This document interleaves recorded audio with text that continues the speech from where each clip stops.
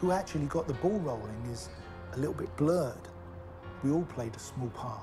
Gary and I both flew over to see Steve Norman in Ibiza at different times. I looked at him and I said, bloody hell, Mark, you still look like Elvis. And gave him a big hug.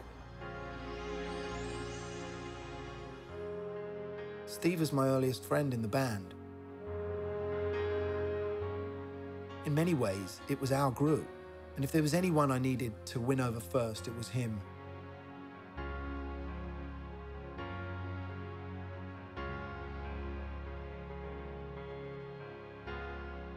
And then we, we kind of got to know each other all over again.